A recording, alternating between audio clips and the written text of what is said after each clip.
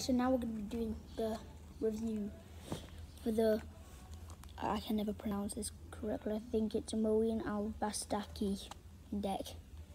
So it has a really cool design, black and gold, with um, a cool pattern above. So this this guy that has made these cards, he's an Arabic magician called Moein Al Bastaki.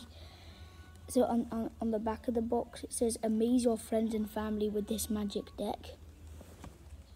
And has some pattern on, pattern on it as well on the back. And honeycomb on the outside. The link here for to buy his things is on the side of the box here, but I I think I might put it put it in the description for you guys. So let's go for the card designs. So the card are basically just a stranded deck. So well, apart from the jokers, the jokers look like this.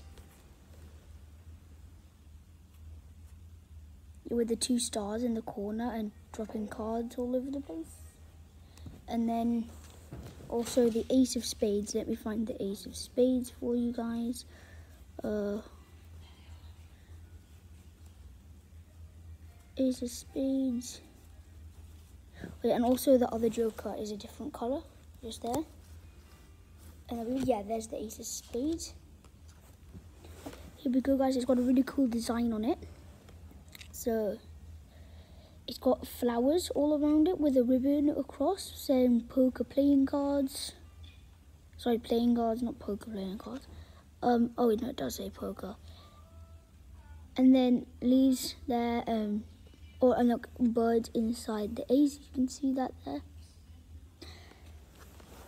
And then the card design is just the same as the front of the box. So guys that was the Moein Al Bastaki I think? Yeah Bastaki card review. If you did enjoy it guys be sure to subscribe turn on post notifications and yeah we'll see you guys all in the next video.